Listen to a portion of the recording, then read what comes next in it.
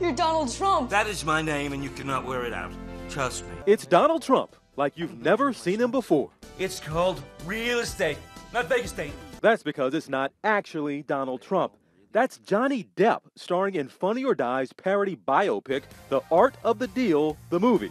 I had to start up with nothing but the shirt on my back and a small million dollar loan from my father. Took Johnny Depp about two to three hours to get ready. We were blown away. I want you to slather every square inch of Trump Tower in brass. The online film stars a jackpot of gold medal worthy celebrities like Ron Howard, Alfred Molina, and 30 Rock's Jack McBrayer. So, just make the whole foundation classier. And in keeping with the 80s vibe, Kenny Loggins even wrote and performed the theme song. The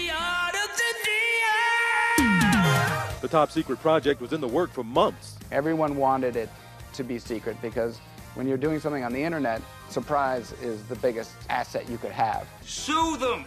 And while they haven't heard from the Donald himself, they say the online response has been huge. I imagine he'd be thrilled that an international movie star is playing him. You know, he would expect no less.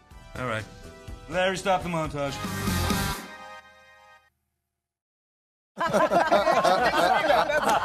the beauty of it is that he did say that. He did say that. And it goes on for 50 minutes with, with more stuff. It's a full movie. Uh, it's a full-on movie. They did this about four days. And get this, you'd love this. They thought they had to do it in a hurry because Trump was going to be out of the race, but now they had too much Plenty time. of time. Had to keep it secret. yes. We want more.